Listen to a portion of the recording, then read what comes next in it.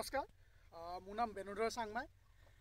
মই Netsurf company বায়'ফিটৰ active distributor Dibrugarh ৰিজনৰ এম চি এম মেম্বাৰ মই একচুৱেলি আমাৰ চিন্তু দাস ছাৰৰ ওচৰলৈ আহিলোঁ। তেখেতে আমাৰ নেটছাফৰ বায়'ফিট প্ৰডাক্ট ব্যৱহাৰ কৰিছিলে।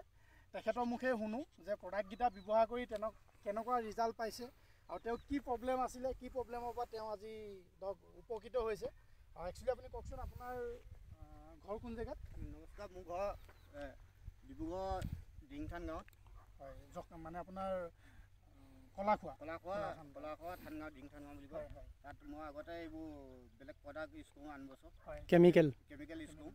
এইবাৰ কি হ'ল আপোনালোকৰ প্ৰডাক্ট পাই পিনে মই আগতকৈ বহুত ভাল হৈছে এইবাৰ। আপোনালোকে হয়। দেখিছেই। হয় নিশ্চয় ভাল হৈছে। আগত- আগতকৈ। আগত আপুনি ধৰক প্ৰব্লেম কি কি পাইছিলে? কেমিকেল ইউজ কৰি থাকোঁতে? আপোনাৰ গুৰি পচি গুৰিবিলাক গুৰি- পচি যায়। জুমুকা জয় পৰি যায় গছবোৰ। এইবাৰ মানে তেনেকুৱা প্ৰায় কম হৈছে। দুই চাৰিজোপা মাজত হৈছে যদিও আগতকৈ।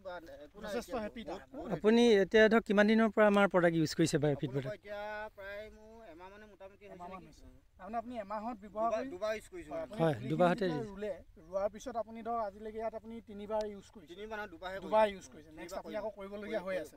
তাৰমানে আপুনি এই দুবাৰ ইউজ কৰি আপুনি যথেষ্ট ফল দেখিছে। যথেষ্ট ফল হয় ঠিক আছে আমি আশা কৰোঁ দাদাৰ বিলাহী খেতি যেতিয়া ছিঙিব হ'ব তেতিয়া আহি আপোনালোকক আকৌ আমি এটা ভিডিঅ' দেখাম।